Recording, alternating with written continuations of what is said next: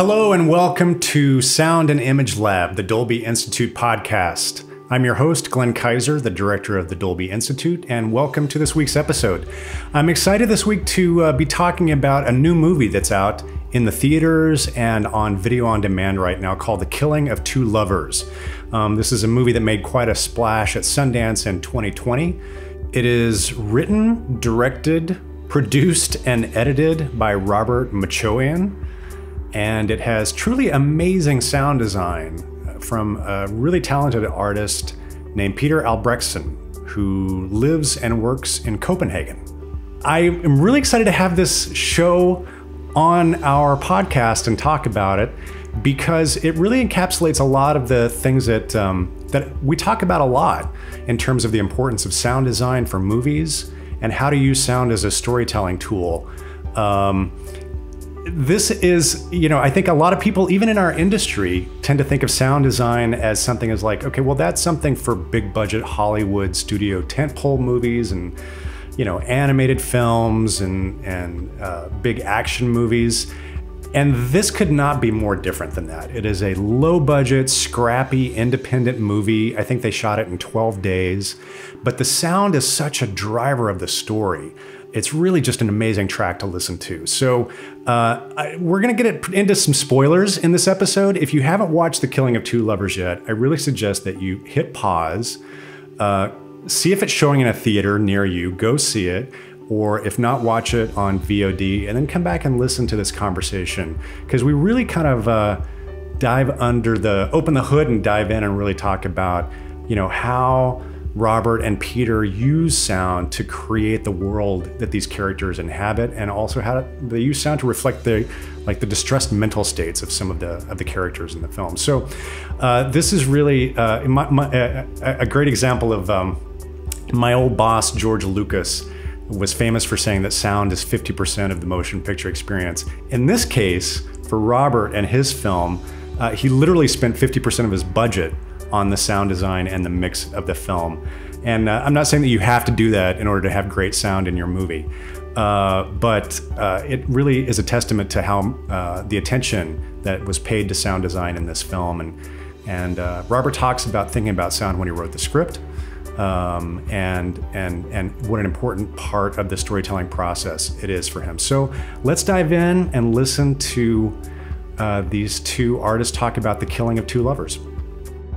One of the things that we talk about uh, on this program a lot is is the power of the first ten minutes of the film and the the responsibility that you as filmmakers have because in that first ten minutes you're really establishing you know the cinematic language that you're going to use to tell the story. You're putting the audience in the world. Obviously you're doing the stuff that everybody knows about which is you're introducing the characters. But most importantly you're also i think that not a lot of people talk about the fact that you're you're setting the tone and you're also explaining to the audience how it is that you're going to go about telling this particular story our friends at neon have been very gracious to give us some clips from the first 10 minutes of the film. And so, Robert, I'd love to just kind of, and Peter, just kind of deconstruct what you had to accomplish in that first 10 minutes from a stylistic standpoint and um, how you and Peter went about doing that. Because one of the things that's really interesting and that became apparent to me right very clearly on, and this follows through with what you were talking about about your the, the previous film, very different things are being accomplished by the image and the sound in that first 10 minutes.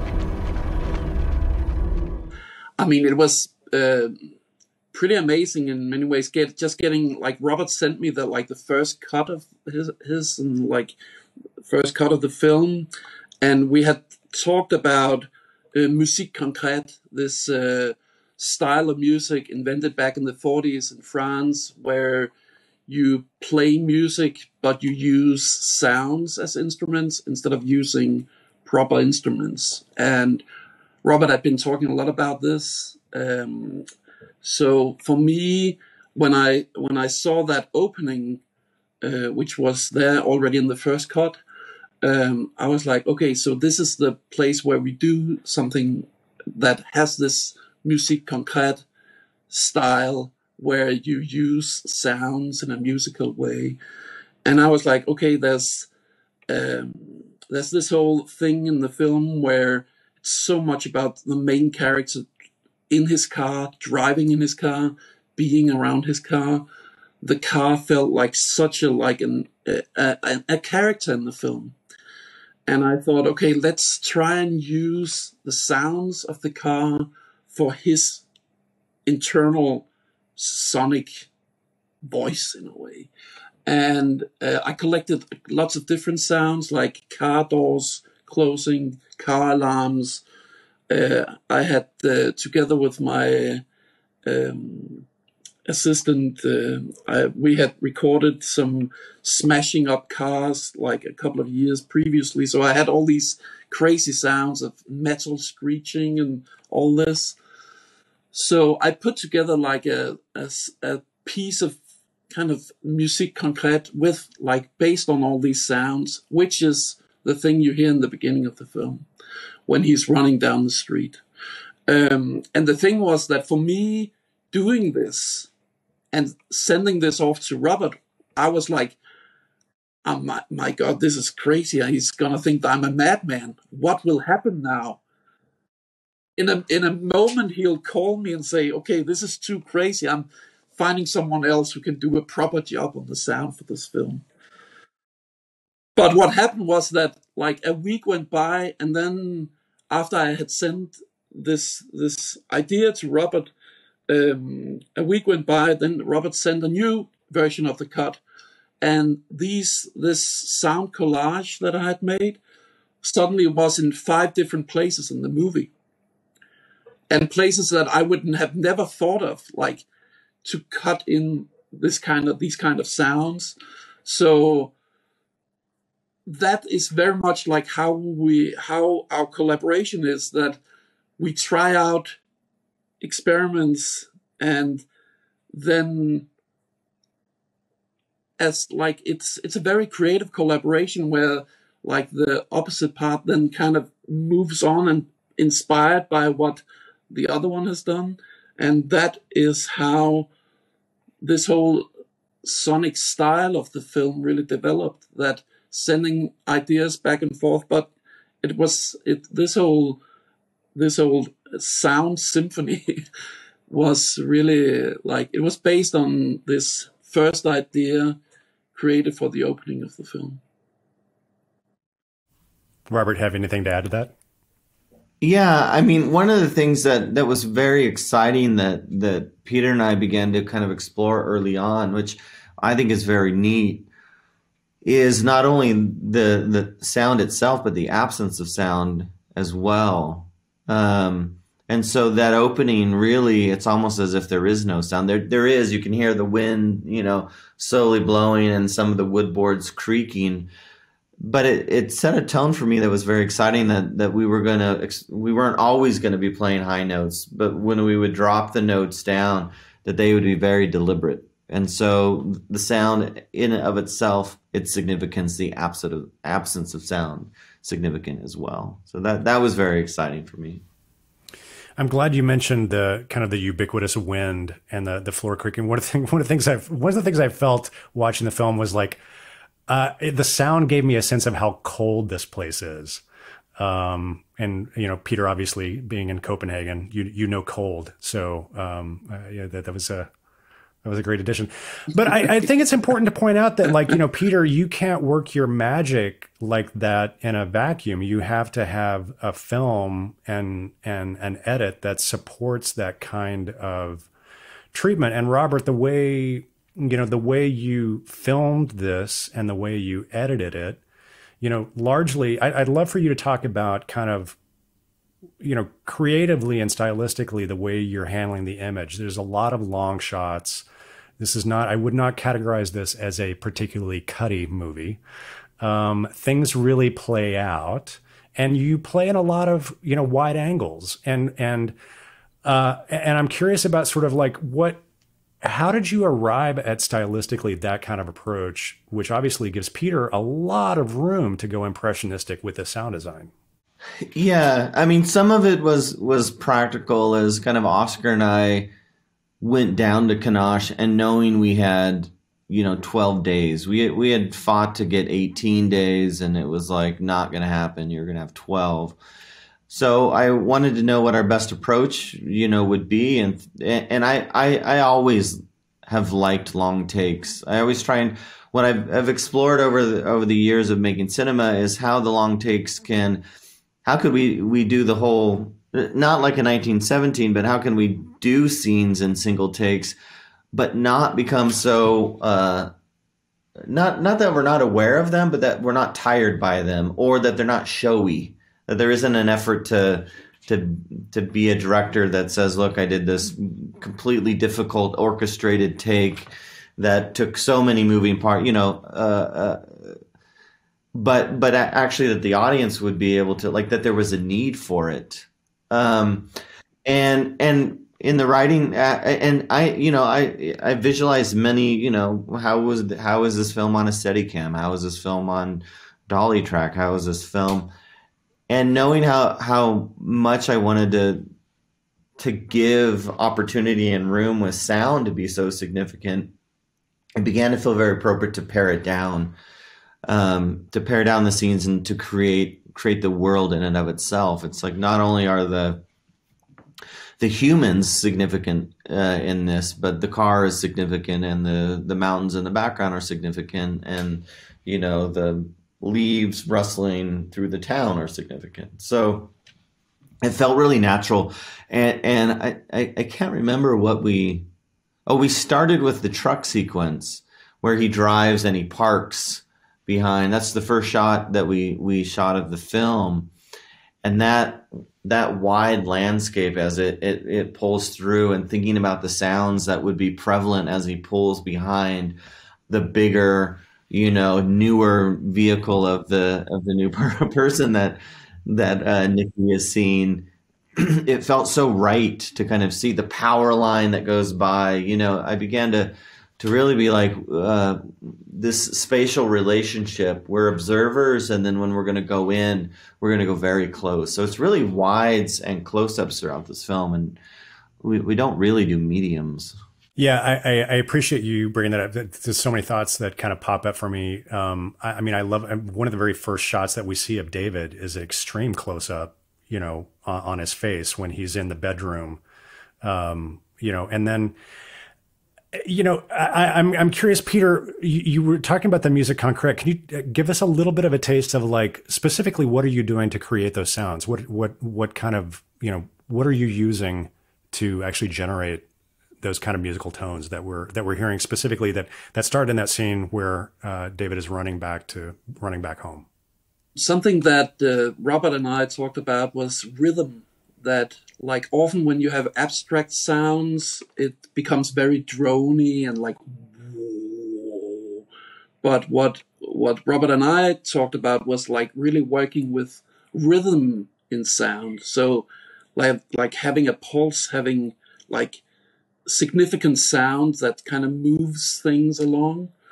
Um so that was where the car doors came in like dark dark dark, and then starting just building a rhythm of that, and then thinking, okay, so in between this, I I'd like a metal screech. Okay, I got these where we're like like hammering, putting a big sledgehammer to like the roof of a car. Okay. Okay, so that's a nice sound to put in between the beats and so it's for me I build these kind of things very much with um, actual recordings. Uh, I don't really do.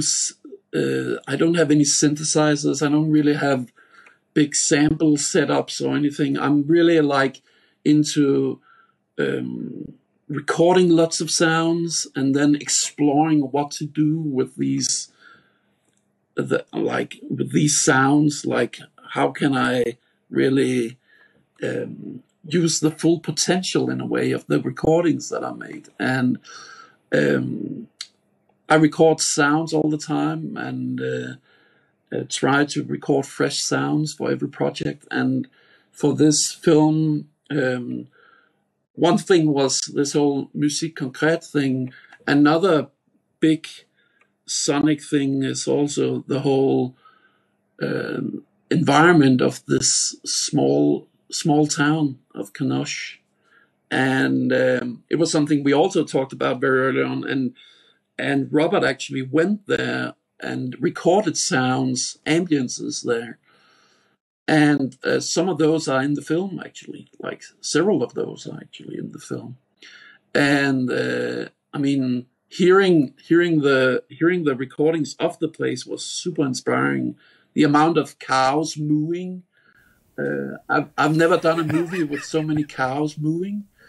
um, so uh, there's all these uh, small elements that give give the place a very significant sonic personality. And uh, in that sense, there were like all these abstractions, the sonic compositions, and then there were uh, a lot of these ambient atmosphere background layers, which throughout the film also evolves and have a lot of different tonalities to them as well. I'm happy that you bro- that you both talk about the importance of the location to the story and to the characters' mental states, and and you know uh, you, you, both talked about that that first sequence where David, you know, we, the first uh, uh, the first scene of the film, David is in you know Nikki's house, which is his old place, and then um, and then he sneaks out and runs back home to his dad's where he's currently staying because they're they're in a trial separation. And you know, Robert, it how amazingly courageous to just play that entire run in one scene. But but it's really important because what you're what you tell me as an audience member is like how small this place is and how on top of everybody and they all are and how up in each other's business everybody in this town is. And it's really it's it's it's it's a very clever smart way to kind of root that audience in a very specific place and let them know what the characters are going through. Yeah thanks. Yeah I, I knew it, it's funny that you bring that up because in the early early kind of discussions uh, of it uh, the producers were kind of like, so you're going to put all the titles right here. It's going to be like starring Clayne Crawford, and you know, and I was like, no, we may put the title of the movie there, but I'm not, I'm not sure certain we'll either do that, even do that. Um, this is really establishing this kind of state of mind, and there's there's a lot of nervousness about that. But but I wanted, yeah, I very much wanted the audience, like you we had kind of discussed, to know very. they need to know like it's like any type of game. You need to know the rules of the game as you begin. You know, charades is silly if you don't know that it's charades. You know, and so um, I wanted to establish early on that we understood, even that it, uh, when the point when he shuts, you know, he puts the gun under the seat and shuts the door, and the sound stops. It's like. Uh, okay, the danger of this weapon has been established. That when it's with him, it's very a dangerous thing. And and often we are with him all the time when that when the the weapon is always in proximity to him when we begin to hear these sounds of kind of chaos. Um, so things like that were were very for me very exciting. Yeah. Well I, I want to dig a little deeper into, into into what you were just talking about. I feel like one of the one of the things that this film does really well is it uses sound design to communicate David's internal state. Um, and can you talk about was that part of your Robert? Was that part of your conception when you were writing? Did you know that Peter was going to show up with that? Was that a delightful surprise that happened in post? You know, or, and and and why? I, I and on a deeper level, why is it important to use sound in that way? What did that accomplish for you? I mean, I think people understand the power of a sound, but I think so often they're not aware of it. it, it the example often is for for example in the Dark Knight, the Joker sets a pencil on a on a table and he grabs the back of this guy's head and he slams his head in it. You don't ever see the pencil enter the guy's head or any of those things that occur. You see the pencil and you see the, the, the grabbing of the hand and the rest is done in sound. And we as an audience are horrified. I mean, there there are there are scenes in films that I've been like, I just did damage to myself experiencing those moments. And the reality is, nine times out of ten, it's the sound, you know. And I watched, I watched the behind the scenes stuff with uh, M Night Shyamalan talking about Sixth Sense, and he said initially the movie was rated R, and he didn't want it to be. So him and the sound guy some made some readjustments, and then it was PG thirteen. they did nothing to the actual edit. and I thought this is it's it's such a powerful medium, um, and so I was a little surprised. I'll say by Peter in the sense of I didn't know what I was. You know, I knew what I wanted, and I knew what I was hoping for. But but communication is also really challenging when you're creatively just moving into a, an arena that I can't just say go watch 400 blows and you'll know what I'm talking about. You know. Um, but what he brought what he brought back again the, the the the sound design against the science we've been talking about this the last two days that we've talked you know right before david um, you know chases after derek the truck drives away and you hear the, the you hear the leaves blow kind of in the wind and how significant that little moment is against what what precedes it you know what comes after which is this intense car scene but I also knew from a directing standpoint, we didn't have the money to do maybe a car chase scene the way that would be traditionally done.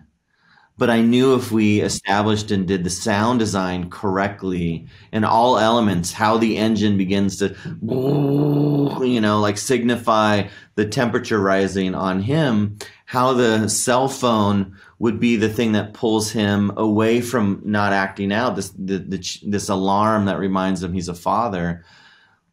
Those uh, those elements would supersede not having the visuals to to do probably what we would have standard done if we you know maybe if we had a million three million dollars to make the film we might have done these things a little bit different but um, I don't know. I mean, I've just my dad taught music for 45 years, and he was a big uh, you know, I have sheet music, uh, or he has, I, I, you know, but he would pull it out and it was just sheet music and this composer taking a, a, like a Tommy gun and shot it.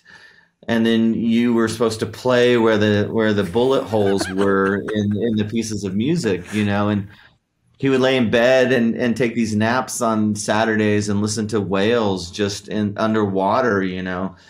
And so I think I think he embedded in me the very importance of of sound in of itself and i knew what what peter could do would elevate you know elevate it there's something like very much about also how you robert is like describing your characters. There's a complexity to the characters which is like there's not really anyone who's good or bad or there's no one who's really evil or really funny or like there's often a multitude of feelings involved and there's a complexity in the way that the characters um, act and what they say and what they do and sometimes they do some things that are the opposite of what they're saying and um, and there's so there's in that in that sense the the way that that you Robert is like um, making your your your characters and telling your story for me that goes very well with having a, a film language that is not like that is not um, uh, uh, telling you exactly what you have to feel.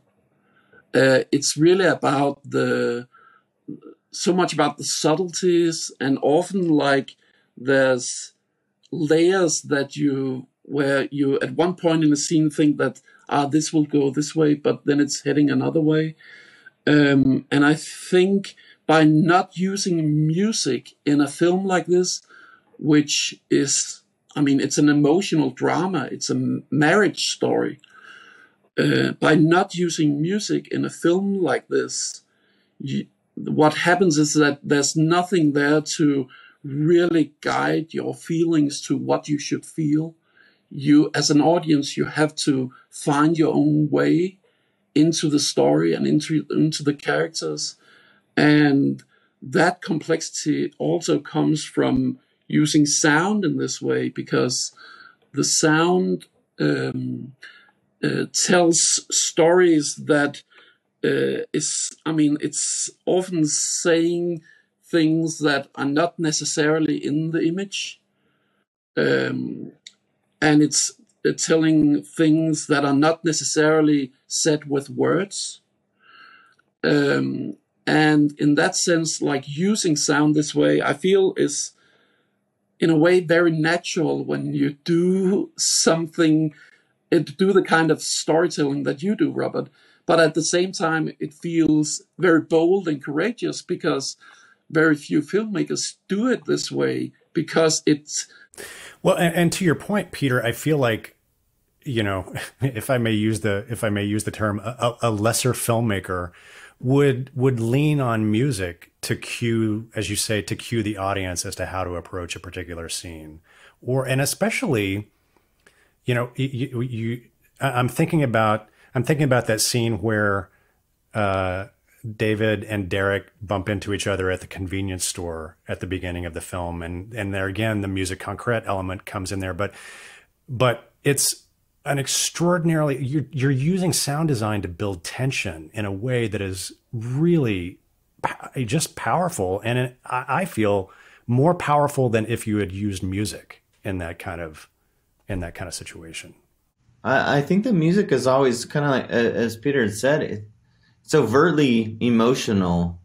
You know, our relationship to, you know, even think about like C, C, G, and D, and how often that's the structure of pop music. So how, how comfortable we are with those three notes. We're just constantly very familiar with those, and we're not familiar or comfortable with flats or you know sharps and we even have you know as my dad had taught once you know he would play this little this little melody on the piano and be like you know the catholics like uh, banned this these three note structures as, as being demonic and evil. Um, and, and, and so we have this uh, already built in as a as a specific note will play our association or relationship to that. And and I love music and and, and Peter and I are, are exploring like how that can maybe play play a role but it does immediately evoke uh, an emotional response where where I think the sound design and the concrete is like a is not. It's it, it doesn't call back to a specific moment in time. Maybe the, maybe the the specific sounds maybe you know the, the you know the doors shutting and slamming for example that that can bring us back to periods of like our own frustration where we have slammed doors or doors have been slammed on us. And we then we almost a history is built into it um, into these kind of experiences. So I, mean i knew right away. And, and and funny enough i don't think i explained it very well to peter. I was teasing him the other day that when we were doing the found, sound mix on uh, at juniper he, he looked at me, I think it was like day two, and he's like, I'm kind of the composer. and I realized that I hadn't ex- explained it enough that, yeah, you would be, you know, you would, like this, the, the entire film, film would be under his kind of, uh, his uh, mind. So just the way that, the, that you talk about something like when, when you have a, a collaboration like this, I mean, there's some people who really like that a director comes to you and says, I want this scene to play exactly like this, and I want this scene to play exactly like this. And Robert never says anything like that. He, we're talking about much more about the emotions of something, or, what what we feel about a certain scene, but it's never. I mean, I don't think you ever, Robert, actually told me you have to put that sound into this scene, and for me that opens up for uh, a really like it it opens up for a process which is very creative because you have to um, you have to experiment to get there. You have to it it you have to explore things and you have to also risk things and you have to make mistakes and some of those mistakes are amazing and suddenly inspire something new um, and I mean, there's no kind of uh, there's nothing that's set in stone about sound design in a Robert Machoian film. There's one sequence that I wanted to um, talk with you about. Um, because it, it, it's such a remarkable use of sound to tell story, but it's not at all flashy, and it's it's not you know it's it's a very subtle scene. I'm thinking about I just love this scene so much. David uh, is uh, David and Nikki have date night, and so they go out on a date, um, and then they pull back up at Nikki's house because uh, they're concerned about the kids, and they're having a they're having a pretty intense conversation in the car. And right at that moment, Nikki's new boyfriend Derek pulls up with some flowers for her, and gets into an altercation with their daughter in front of the house because the daughter is not happy to see him or take these damn flowers.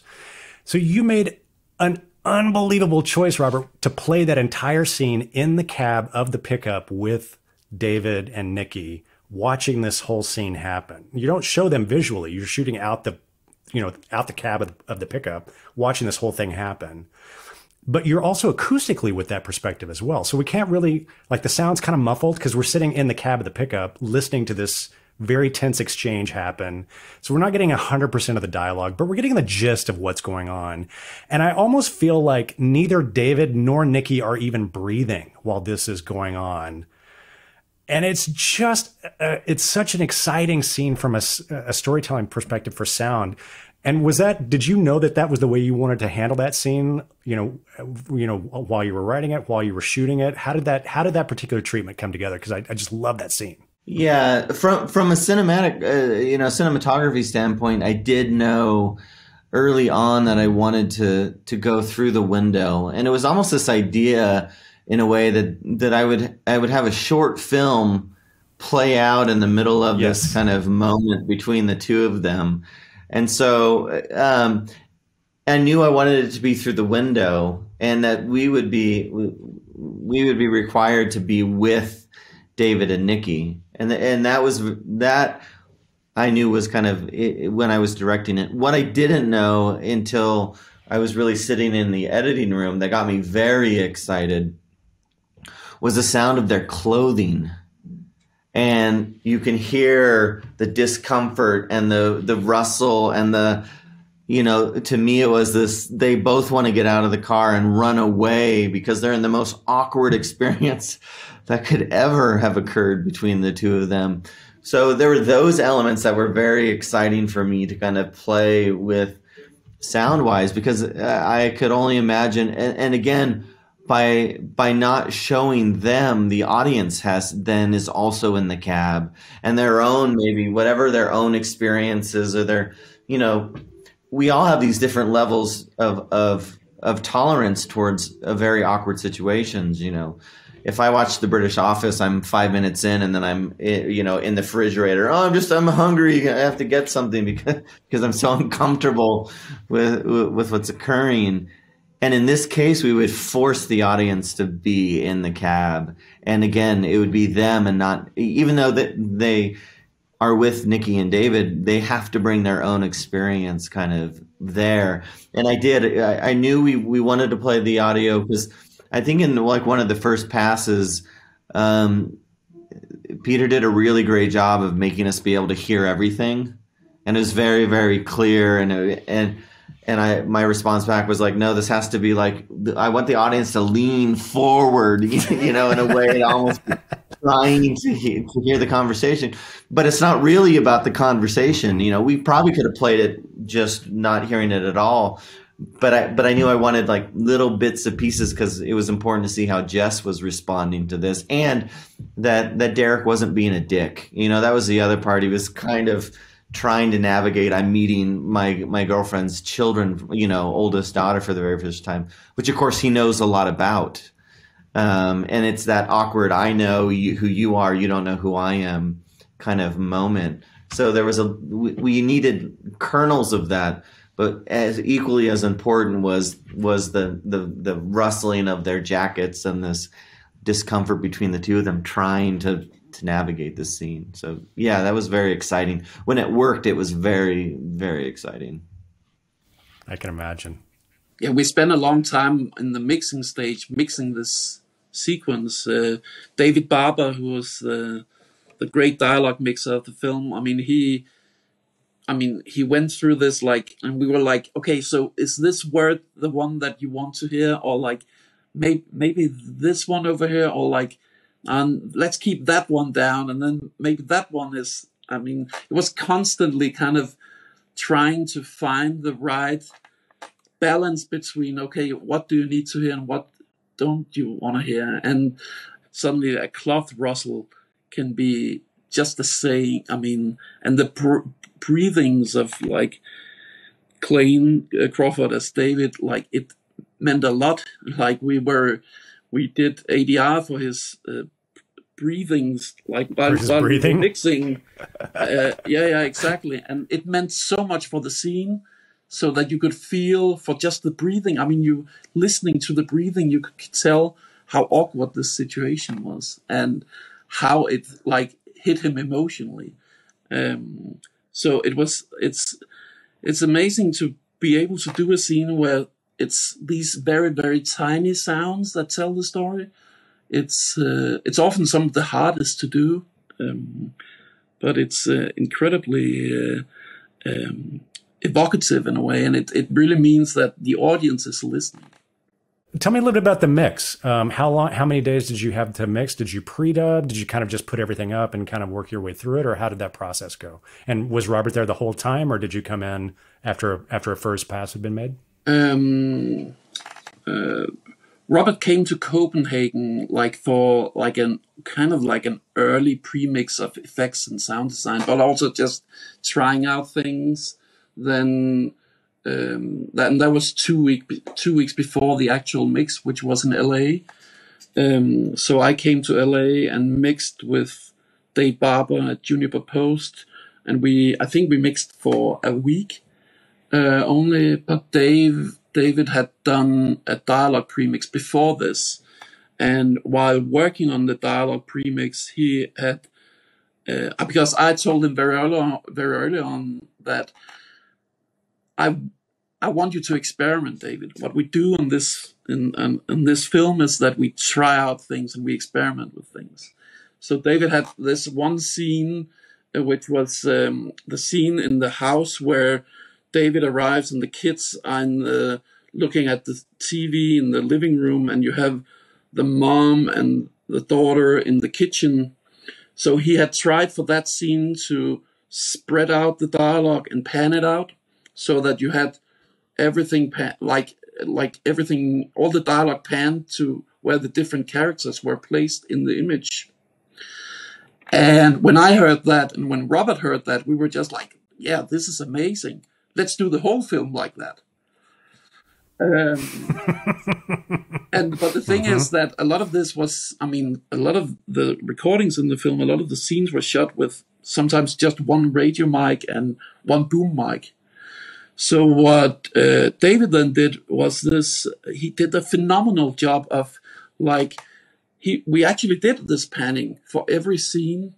Um, so there's scenes like where where we only had one mic, for example, when like David is playing around with the kids and they're fire they they're shooting up the fireworks, and then what David did was he wait wait wait wait wait a second wait a second yeah that you're talking about that long scene in the park where they're f- shooting off the the rockets. Yeah. So how how first of all, how long is that is that? And you play it all out in one shot, right? But it's my memory is that it's several minutes long.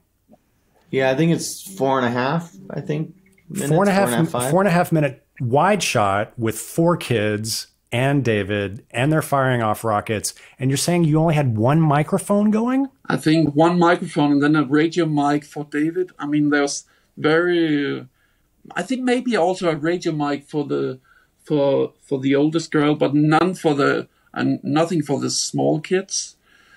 So That's so amazing. So what David did then was using uh, the iZotope software to um, then mm-hmm. uh, remove David's dialogue from the the recordings of the kids, and then being able to put the kids pan those to the right, and then removing mm-hmm. the kids' dialogue from David's dialogue, and then panning David's dialogue to the left. Um, so we did a lot That's of amazing. tricks like that, and in I mean to create also this separation between the characters, which is very much kind of the whole story in the film. It's about the distance between the yes. characters, and when you suddenly had this panning of the dialogue, you were able to really feel how far away they were from each other, so that even like when they were, I mean, when David was talking with his wife in front of the house and having that separation, suddenly you really feel how far apart they are. Well, it's you bring up something that's really interesting, Peter and I, uh, Robert. I wanted to ask you. I think, uh, you know, a very valid choice in this situation that we've seen directors do a lot is to shoot this movie in two three five, right? And you have one character on one far edge of the screen and one character on the other far edge of the screen, and that's how you kind of impart that that separation and the distance and the space between the two of them. But you decided to make this movie. I mean, it looks to me like four by three. Is that correct? Why? So I'm really curious about that stylistic choice on the imaging side and why you decided four by three was the format for this story. Yeah, I mean, initially, uh, Oscar and I had discussed doing 166, which is kind of my preferred aspect ratio. Um, just being a photographer, it, it, gets closer to photographic kind of composition. But when we when we did the close-ups on David driving, it felt unnecessary to be able to see in front and behind of him. You know, it it actually felt a little destructive in a way in, in the storytelling. And when we went to four three, we constricted his space so significantly that really you're you're not even really seeing the steering wheel. You're just seeing his, his face and his shoulder and um, and Clayne understood that that performance in these scenes was just going to be on his face, and so he knew that he was going to be discussing with the audience, um, you know, what David was dealing with through kind of his his his facial gestures. So early on, it just felt so very appropriate to kind of conform, and and and then the other aspect because two two three five is this beautiful kind of landscape uh, esque, which is what westerns are normally um, kind of constricted to. But Kelly Reichardt had done uh, Meek's Cutoff in 4 3. And she kind of discussed that, you know, and, and she kind of discussed kind of what we began to borrow from her, which is like the, the photographs of that period of time are often square. And, and even Meek's Cutoff might even be square. I'm not, I, I can't, I'm, I'm kind of drawing a blank right now but what I thought would be very interesting is that it limited the distance because if Nikki and David get too far from each other, it's over, and they're not in a and not in a place where they. So the edges of the frame in a four three. What's exciting is you're far away, but you're not so far that it, it no longer, you know, you're no longer connected. It it's almost feels more that you're right. Yeah, and it feels f- that you're forced in. The, the square is more confining as well, which was very exciting to me. I mean, that, those aspects very early on, the the um, the scene where they're, they're they have their kind of first argument uh, over you know the fact that David came and knocked on the window so so early in the morning um, is a great example of that. The distance to which the actors themselves, because we just set the markers for them, and they knew that they couldn't, they didn't have the freedom to go as far as they wanted, which was very neat for us because then they they would they would reach this point. No, they were forced to turn around and you it almost then creates this dialogue of this confinement you know this confinement between the two of them so i i was very excited uh and and I, I keep being hopeful. I think we're moving it into a place where I think aspect ratios can play a role in storytelling. Um, I mean, they always have, but but I was I, to be honest, I was nervous initially about the four three because it felt like it was becoming trendy, and I didn't want I didn't want it to play a role in trend. I wanted it to play a role in the, like deliberate role in the right. way we told the story. And so, um, luckily, I felt like that was successful. That that not everyone did four three, so all of a sudden it was like this bandwagon of of people doing four three. Because I, I, I love how uh, absolutely. Peter, uh, did that create any issues that you had to be mindful of, or did you play with that in any way? Because obviously, like if the image is four three, and you're doing a five point one mix, you can you can take the sound past the image, right? You can be you can have if you go hard left or hard right, you're outside of the actual field of the image at that point. Absolutely, it was. I mean, in that sense, it's it's uh, really interesting how, like, in some shots, you I mean, because of the confinement, like like Glenn, like you mentioned in the uh, opening with the close up of David, you're I mean you're so close to the face and you don't really see anything else, so you can have like just a very quiet breathing, and it's really powerful. But he can also be outside, and you can suddenly open up the space like all around you. And I mean, I know that uh, I mean, you can do amazing things with like Atmos and so on, but actually like uh, uh, you can do some of these things in 5.1 as well. This kind of spatial dynamics, which I really love.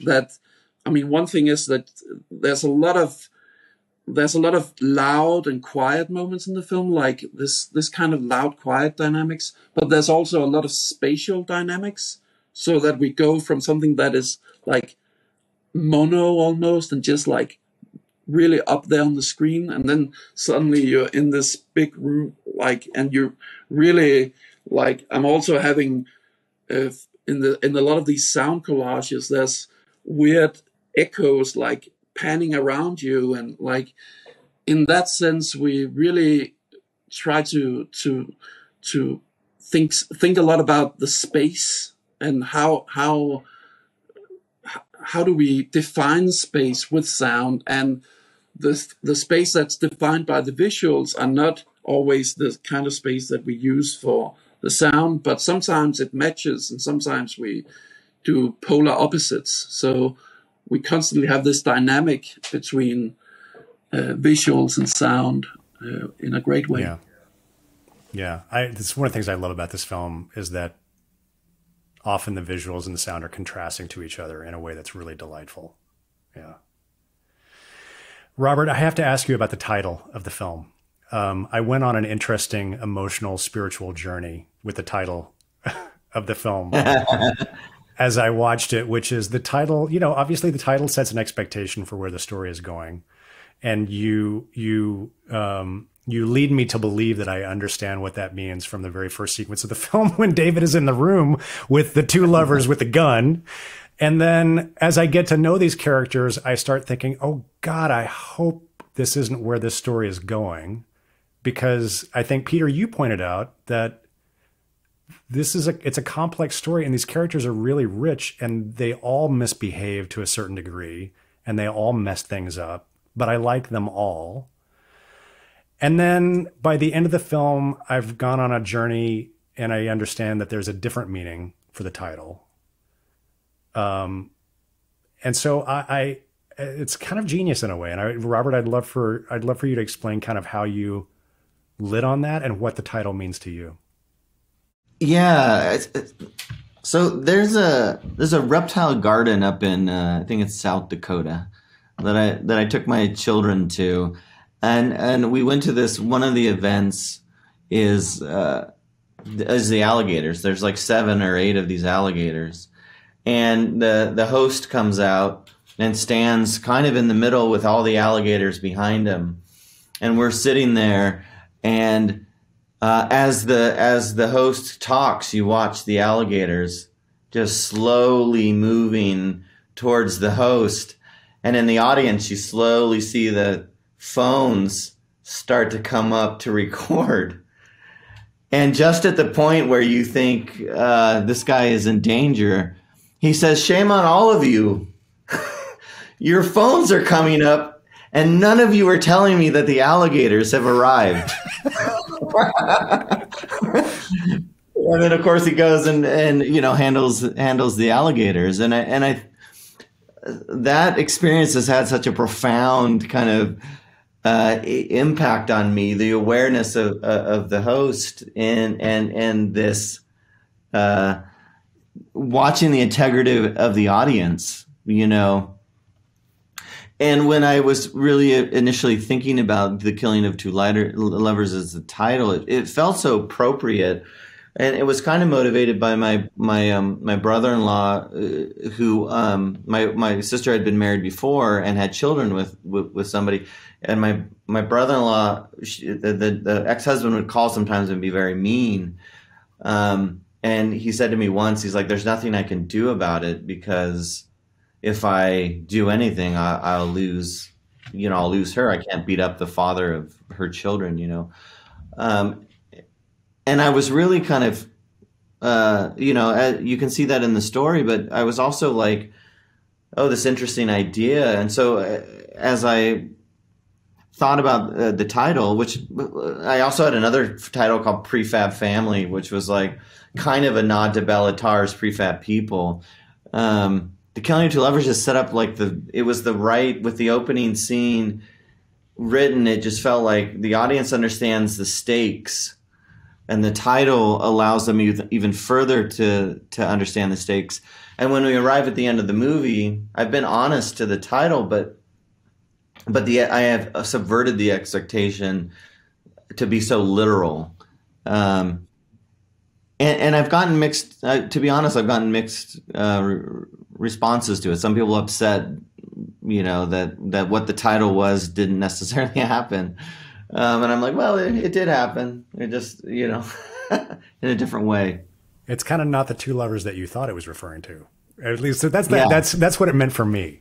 Um, so I really look. I, I, love it. I love it. I love it. I love it.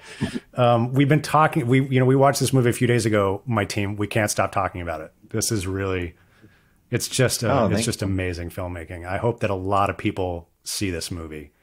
Um, and I got to say, you know, one of the things I was so excited to have the both of you on this show to talk about this film because I think that there's such a misconception among a lot of you know young student you know filmmaking students but a, a, lot of people in the industry that that creative sound design is really like oh that's something for like you know space movies or dinosaur movies or big budget tent pole and i feel like i want to i want to use killing of two lovers as like a case study of how important sound design is for you know any movie where you're taking the audience on a journey right mm-hmm.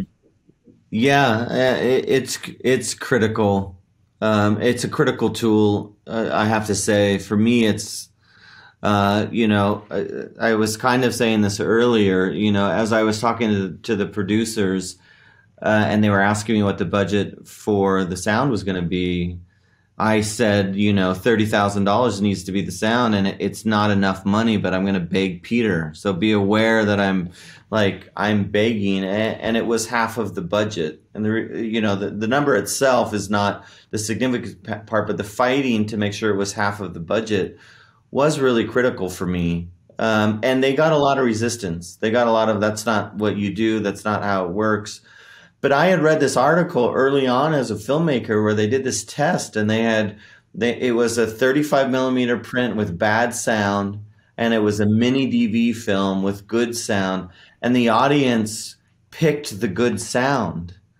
They'll they would rather tolerate an, a, a, a low quality image than they would low quality sound and, and it's a, it's a critical tool and again the, the, the car scene, you know, as you relate to a case study, uh, the chasing of Derek is a great example. I did not have the re- we did not have the resources to shoot that in in the traditional cinematic ways, but I don't think the way we we chose to shoot it distracts on any level. I mean, I think it even better No, because you're using the sound to tell the story that you didn't necessarily have the money to shoot, which is another thing that actually I talk to students a lot about, which is like understand how powerful this story can, this tool can be for you as a storytelling tool because and this is a great example of like you can accomplish something with sound that maybe you couldn't afford to shoot. 100% and you can take people on a, a very visceral journey as it relates as well. I mean i, I think it's the, the, our emotional senses again we're, we're so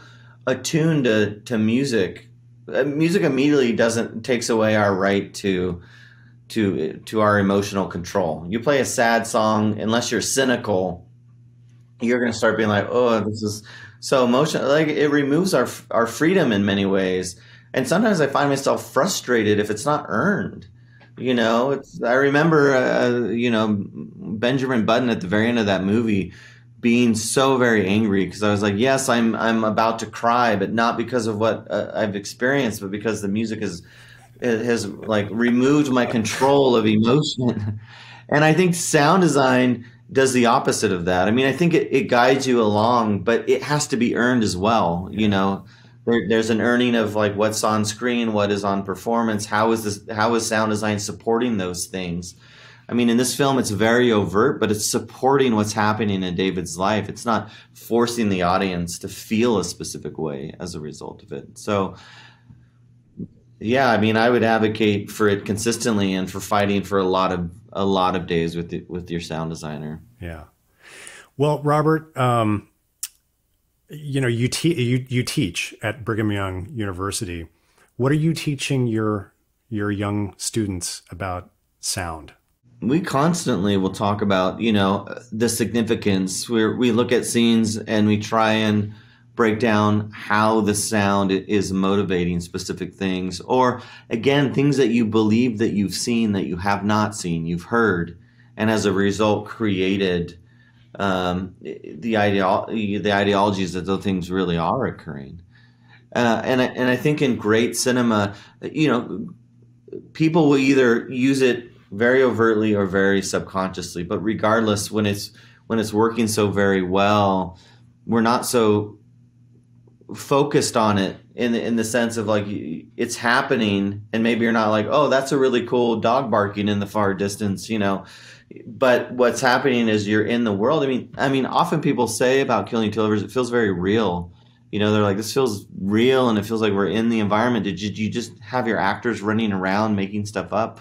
You know and and and maybe the long performances have to do with that but i think it's also that when you're listening you're you're hearing the wind blowing you're hearing the leaves rustling you're hearing cars five miles away you know the layers of which you exist you're there as opposed to often sometimes when you when you watch films or or some films that i pay attention to they've removed they've removed the room you know and really it's like you almost only hear the dialogue and maybe you hear the clicking of a doorknob and and for me i think it's critical to build those spaces because because then you're there. Yeah. It was actually an element that we were playing with in the sound design as well in the background sounds and the ambiences.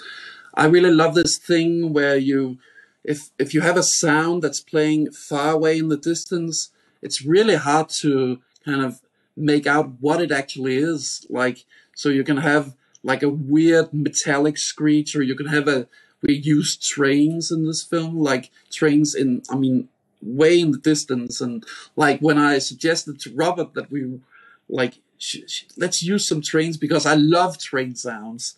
Um, Robert was like, but there's no trains there. And I was like, they can be in the, in the distance. Like, so it's, we have all these sounds. Stop being so literal, Robert.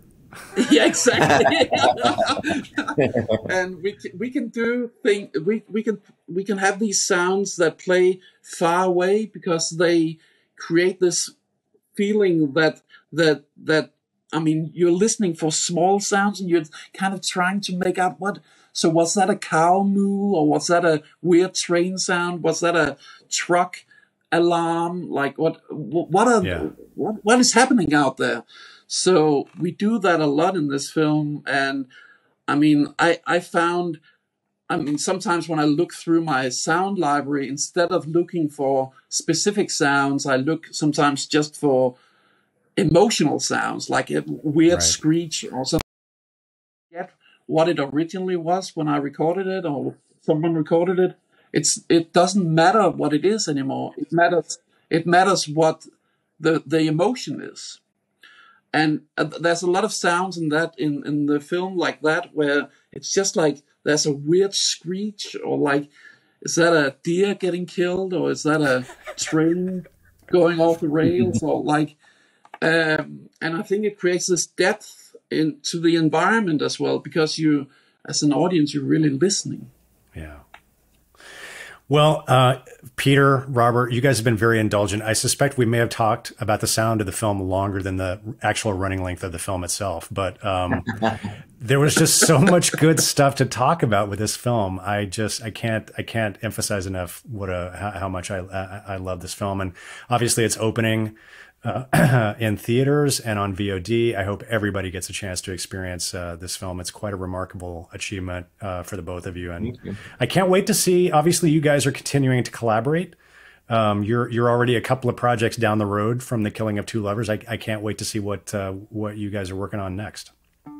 Yeah, it's, it's very exciting. I, I have to say, we've been talking a lot this week about the new film and and every discussion is is very exciting. So oh, we'll be excited to share it for sure. Fantastic, fantastic. Well, thank you guys again for taking the time and joining us on the podcast. It's been a it's been a great pleasure talking to you. Yeah, thank you. Thank you so much, Glenn. Thanks. So, once again, I would like to thank Robert and Peter for joining us to discuss this uh, amazing film and the amazing sound work in it in so much detail.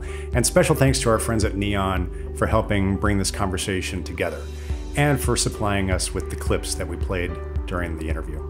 So definitely check this movie out at an art house cinema near you or right at home on video on demand. It's really uh, just an original film and just an amazing use of sound as a storytelling tool. Uh, we have links as always in our show notes. We'll be back again in two weeks, so make sure you're subscribed if you're not already. You can find links to our dedicated podcast feed in the show notes or by searching for Dolby wherever you get your podcasts. And while you're there, please consider leaving us a rating or a review in the Apple Podcasts app. It really helps raise awareness for our podcast so that we can continue to grow. Until then, thanks again for joining us. This has been Sound and Image Lab, the Dolby Institute podcast. I'm your host, Glenn Kiser. Our producer and editor is Michael Coleman. Our executive producers are Amanda Schneider and Jack Ferry.